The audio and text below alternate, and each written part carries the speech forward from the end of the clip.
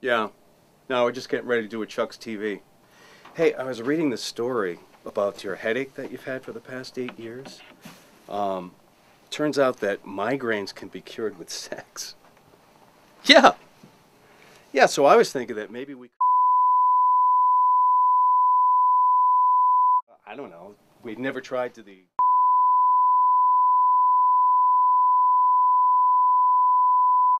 Hello? Hello?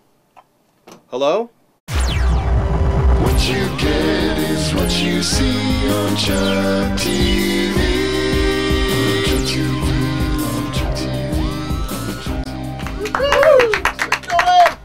TV. Hey, welcome to Chuck TV. Well, negotiations have broken down in the Nolan household. But hey, at least we're not covered in locusts. yes, that's right. Spring in Egypt means locust season. 30 million extremely creepy bugs have descended upon the land of the pharaohs. oh, you know, that kind of reminds me of. Damn.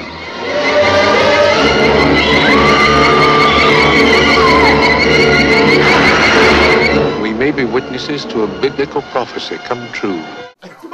Oh, moving on. Pete Townshend made headlines this week after he lambasted a father for using his seven year old daughter to hold up a sign saying, Smash your guitar!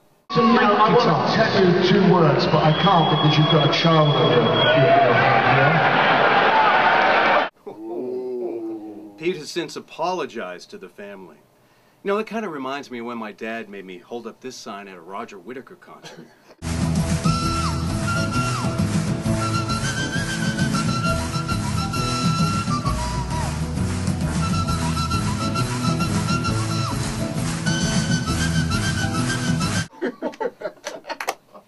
Whistled since. Oh.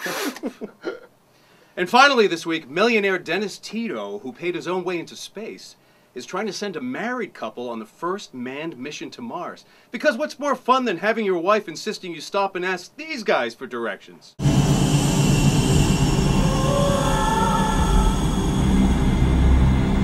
Spy.